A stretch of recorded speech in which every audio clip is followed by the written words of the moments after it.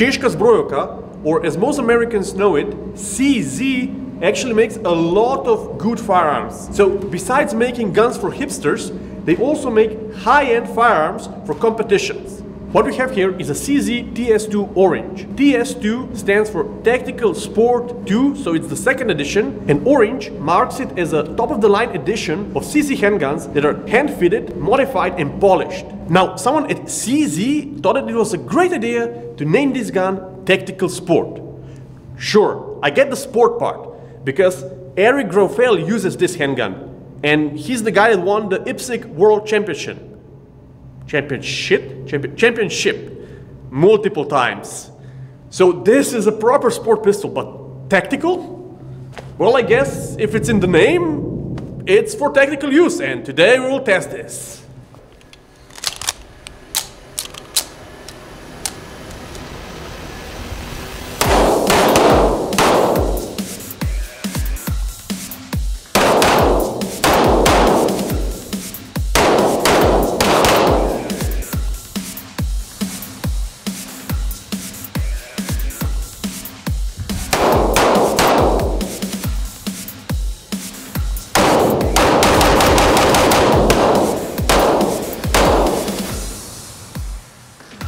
This is CZ Tactical Sports 2 Orange.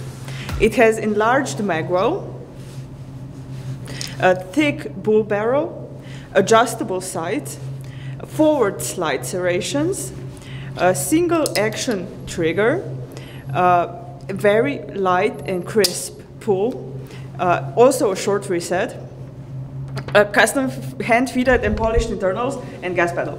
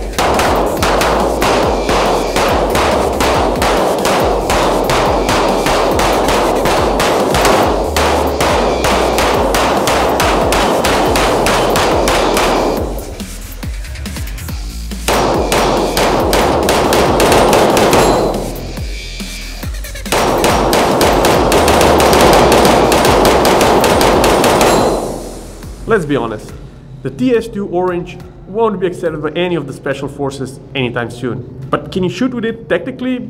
Sure, it's a very solid, really good handgun. Maybe not the best for this job. You know, it's expensive, but it's super accurate. It's kind of reliable and um, shoots really well. So I guess it gets a pass.